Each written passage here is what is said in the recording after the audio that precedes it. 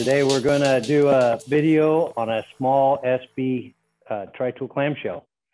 So what I'm going to show you today is when you're doing thin wall pipe or tube, uh, schedule 10, schedule 5, you have some ovality issues. And to round up the pipe, we offer some full support pads. So a standard pad is a block like this, depending on the diameter of the pipe. And adjustable pads screw and unscrew from the outside of the machine. So what we're going to be doing is removing the pads.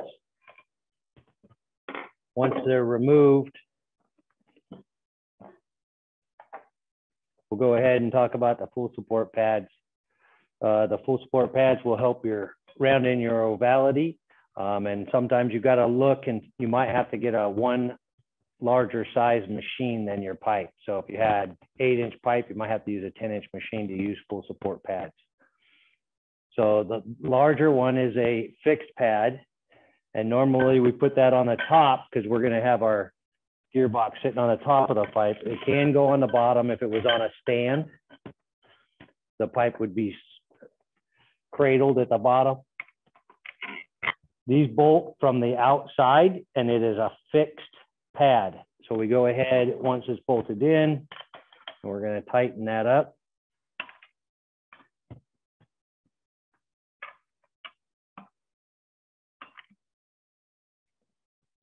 The other two pads are adjustable, which will run up to the bottom of the pipe once we get it set on there.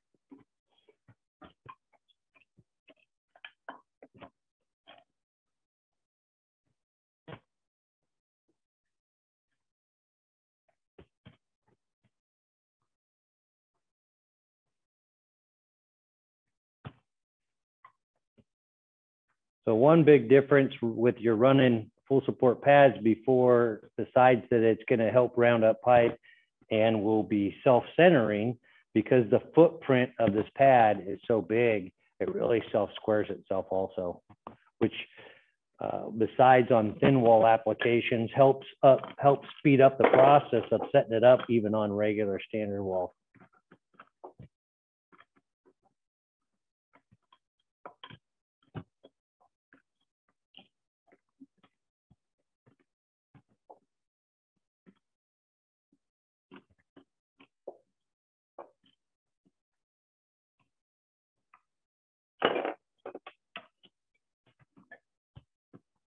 We'll go ahead and draw these pads all the way up into the register pocket.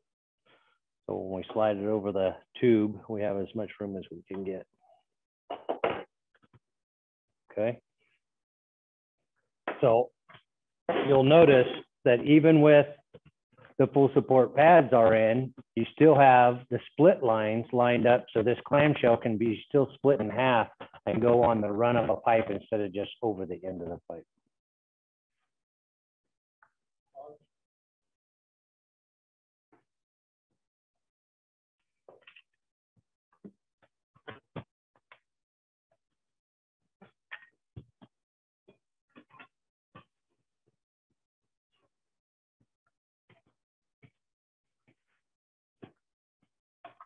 Okay, we just slid our pipe or machine over the pipe. If we did put it in line, you could split it in half with the four bolts, two headstock, two mainframe. We'll go ahead and tighten up our pads at the bottom. We're rocking it back and forth as we tighten it up, help square it.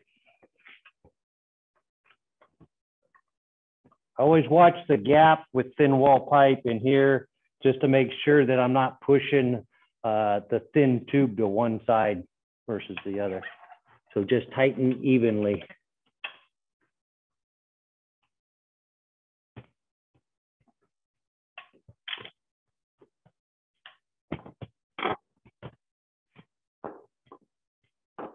And when we go to set our tooling in here, we can straight sever sever right hand bevel towards the machine or left hand, or we could sever and bevel both sides at the same time. There should always be a sticker on the rotation direction of the machine, but if you're looking at the front of it, it turns clockwise and you wanna make sure that your tool bits, the cutting edge is facing that direction. You can also look in the tool block slot and notice that the one side is in the center of the tool block, and that's the direction of travel.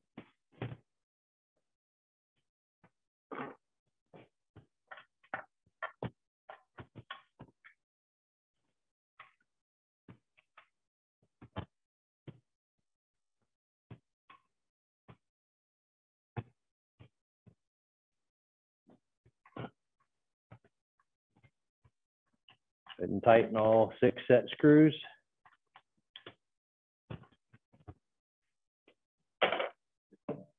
Now, the next step is we want to look for the highest location on the pipe or tube and also be aware if you do have a seam, you want to find that spot. So we're going to find that highest spot. We're going to use the star wheel wrench on the star wheel that actually feeds the machine in radially. Go down, touch that spot. We're gonna back it up and bring the tool bit away from the pipe, three turns. Just for safety, so we don't run into anything with the ovality. We're gonna go ahead, once we do pull it out, and you wanna turn the star wheel in the opposite direction, feeding it back in, and you'll time it so the tips are at three, six, and nine, and uh, 12. So basically that's putting the point along the sides of this tool block right here in line. And you want that tip of the star wheel to be lined up. So when it comes and hits that small tripper pin, that it actually activates the star wheel. Next, we want to take our bevel bit or trailing bit, whether you're sever beveling or straight severing, and put it in the same location.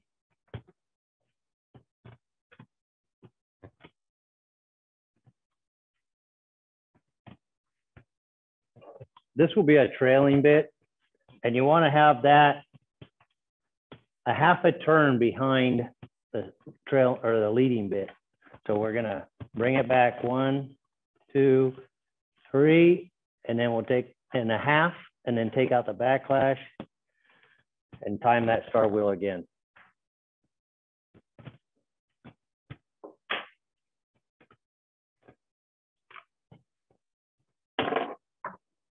Because I mentioned earlier that these pads with full support, they have so much contact, they, they self-square, but we'll want to go ahead and double check our square.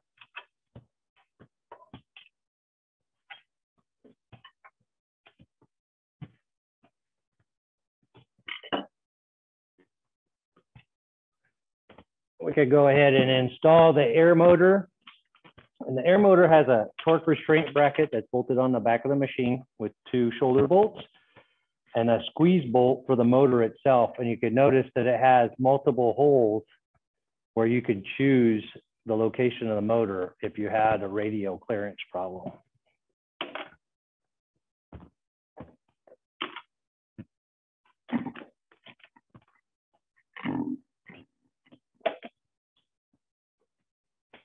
Go ahead and tighten up that squeeze bolt.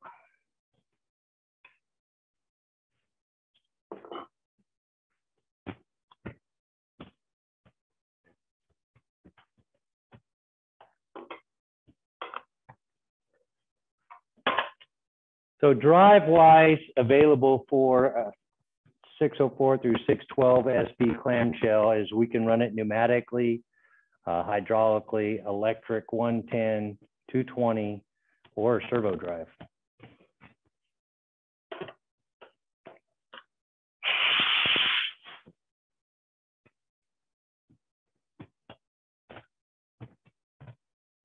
You always want to go around your first rotation uh, slow when your tripper's in, and that helps time the star wheels in case you didn't have it just perfect.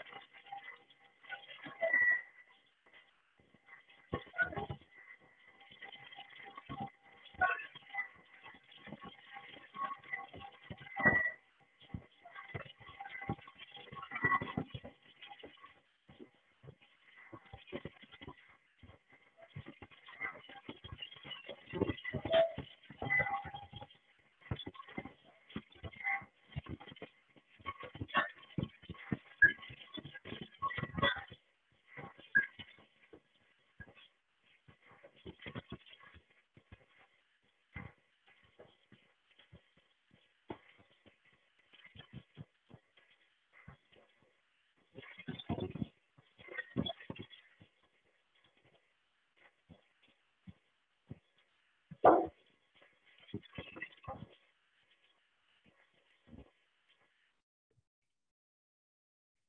there we are, we just severed beveled this piece of eight inch uh, tube with full support pads. Um, you probably noticed that at the end it cut through one side a little bit later than the other. That's due to wall thickness uh, being indifferent from one side to another.